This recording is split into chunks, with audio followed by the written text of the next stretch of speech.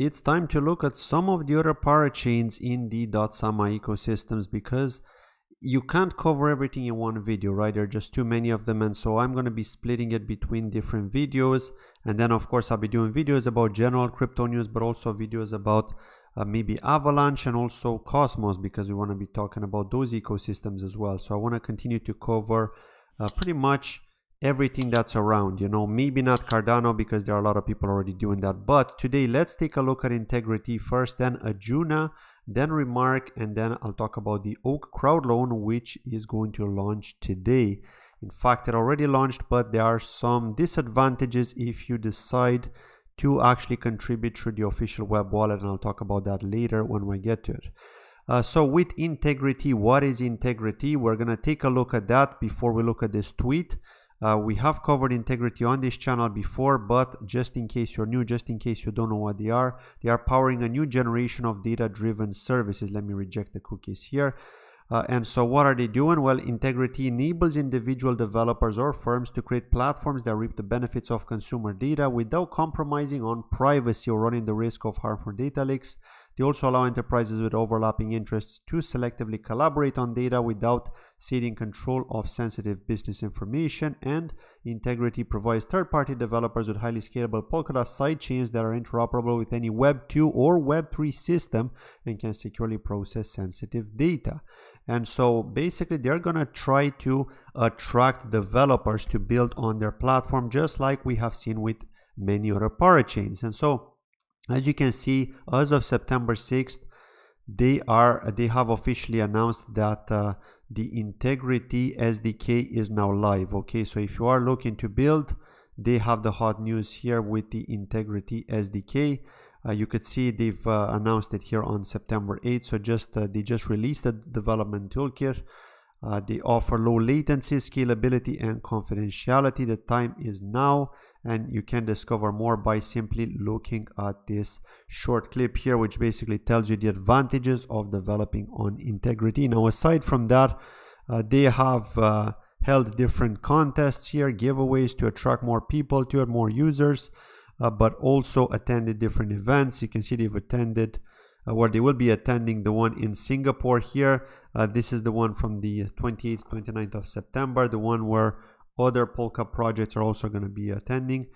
And so, yeah, this is pretty much it here that we've got from uh, Integritee. So uh, this is the reason I wanted to cover them just to let you know that they have launched their software development toolkit. So now developers can develop and now it's more one of those things that you should keep an eye on because once they've got the product, now it's just a matter of how they're going to attract those developers and how they're going to attract those users to build on them, right? Because this is the struggle that many projects are facing. It's attracting development okay? And um, it is going to be a struggle because of the bear market because of the situation not many people are interested but building is happening and so we have to see if they can uh, succeed in that sense right? All depends on uh, the, the type of partnerships they're trying to build how they're going to go about trying to socialize with with the right people and try to partner with the right people right and so as you can see here, OVH Cloud Deutschland uh, have partnered with uh, Integritee here. And there is something exciting coming up soon. So you can find out more about that uh, if you check, if you follow them, okay, on Twitter. Uh, looking at uh, Ajuna here, moving on, this is the platform for gaming on Dotsama. Ajuna are going to be on Polkadot, but June are going to be on Kusama. I have personally contributed some KSM to Bajun and so I'm still waiting for them to launch. But as you can see here, Ajuna have announced that they've uh, launched or not, not necessarily they've launched, they have launched but it's still in development, their SDK. Okay, so you can contribute to the Ajuna SDK now. Again, it's not fully complete yet. I don't think you can start developing games on them, uh, but you can support them if you have. As you can see, there are three contributors already uh, supporting this SDK likely team members, right? The core team members, but of course, other team, other people are welcome, other developers who want to support them and who want to help develop. And so the majority of tweets here from Ajuna have been about uh, why they chose the Polkadot technology, uh, also information on blockchain gaming and why it's awesome to build blockchain games.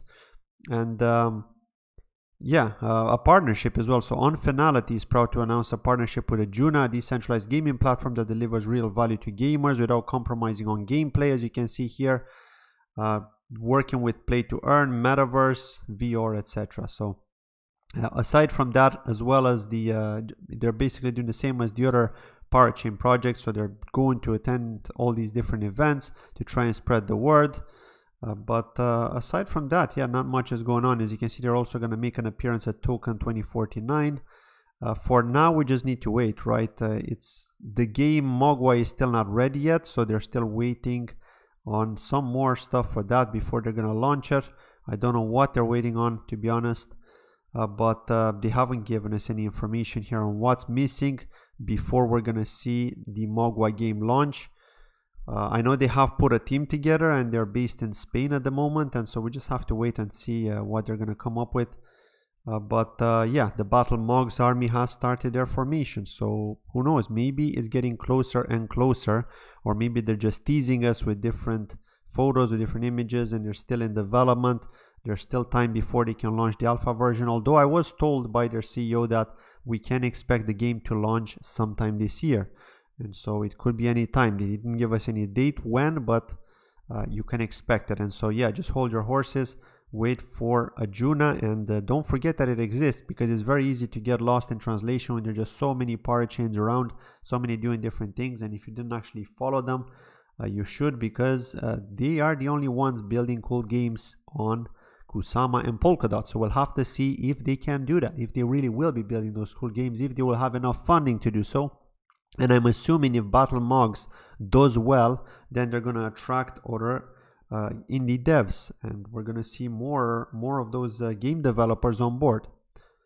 Uh, looking at Remark, uh, Remark is pretty much in the same situation as the other parachains, although they're not a parachain, but they are following kind of the same pattern in this sense, right? They are attending events, uh, they're basically trying to partner with other people as well to spread the word about Singular, about Remark, about Skybreach, but they are still working on Skybreach.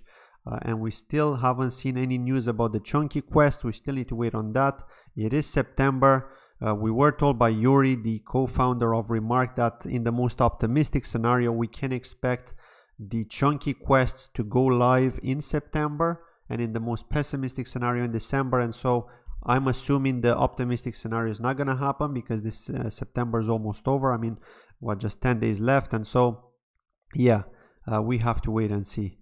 Uh, but other than that, Bruno has just been attending AMAs, just trying to spread the word pretty much to attract builders, to attract NFT creators, right, on, uh, on Remark.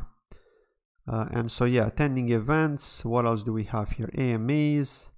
Uh, this is probably the most interesting one up to date. And so as you can see here, this person here, Mislav, uh, he's got an app called uh, GetDev3, uh, which is a low-code blockchain Web3 app that allows for the automation um, automation framework. So it's got an automation framework which basically allows you to automate a lot of the processes using blockchain technology.